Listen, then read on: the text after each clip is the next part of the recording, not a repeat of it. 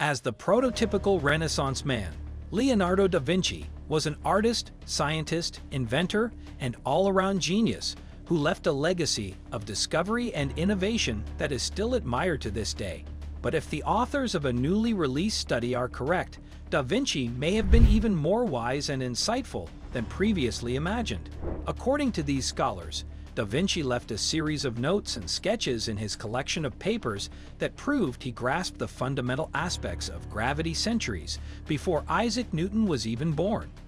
An article just published in the journal Leonardo, a team of academics led by California Institute of Technology, Caltech, Aeronautics, and medical engineering professor Mory Gharib introduced the results of their research into Da Vinci's gravitational theorizing.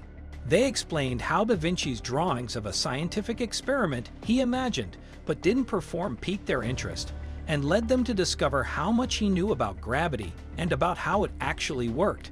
The sketches in question showed a water pitcher being moved through the air in a straight line, with sand-like particles falling out and falling to the ground along the way.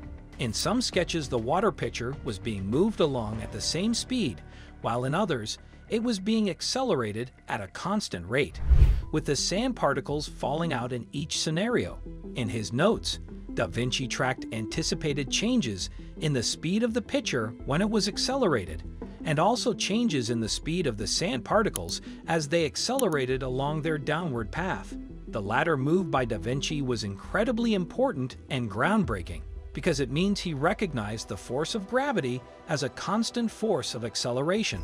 He knew that gravity would make a falling object go faster and faster until it hit the ground and its motion was halted. This was a great leap forward and a vital first step on the way to understanding how gravity functioned and affected all physical objects everywhere. But Da Vinci's genius didn't stop there.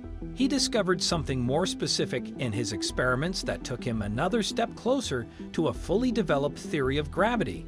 Leonardo da Vinci's drawings, which were published in a collection of his papers called the Codex Arundel, included triangles he generated from drawing lines that tracked the movements of the water pitcher and those of the various falling particles.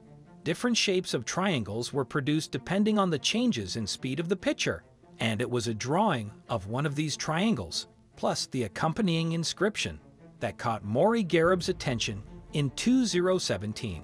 When he was using the Codex Arundel as a source material in a graduate course he was teaching, what caught my eye was when he wrote equation de modi, equalization or equivalence of motions, on the hypotenuse of one of his sketch triangles, the one that was an isosceles right triangle. He reported in a Caltech press release I became interested to see what Leonardo meant by that phrase to probe more deeply into Da Vinci's ideas and discoveries.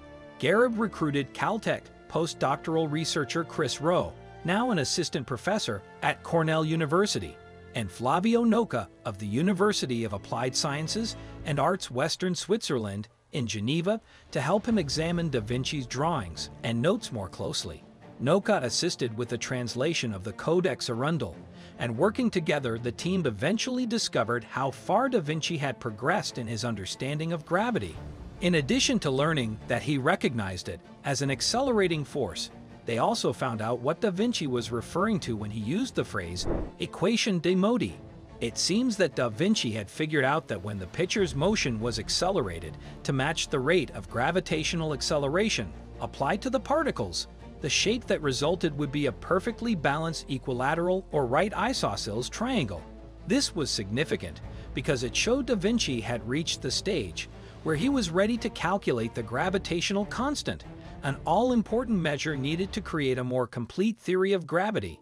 He used geometrical reasoning to reach that stage, after which trying to determine the actual mathematical value would be the next step on the road to such a theory. Unfortunately, Da Vinci made some mistakes while attempting to calculate that constant, which the Caltech researchers were able to track in their decoding of his work. But even here, his efforts were impressive, as he ended up with a figure that was about 97% accurate. All in all, this was an incredible effort, one that foreshadowed the work of other intellectual giants. Leonardo da Vinci died in 1518, which is 125 years before Isaac Newton was born and 169 years before Newton published Mathematical Principles of Natural Philosophy, which introduced his laws of universal gravitation. If mathematicians and scientists who lived in the years in between had only been aware of Da Vinci's discoveries, like Galileo, for example, who knew a thing or two about the subject, perhaps they could have built on his work and developed a complete theory of gravity long before Newton had a chance to do so but it seems Da Vinci's work in this area was somehow overlooked. We don't know if Da Vinci did further experiments or probed this question more deeply, Gharib said. But the fact that he was grappling with this problem in this way, in the early 1500s, demonstrates just how far ahead his thinking was. Far enough ahead that the fruits of his labor remained unrecognized and unappreciated until the 21st century, more than 500 years after Da Vinci came so close to uncovering the full truth.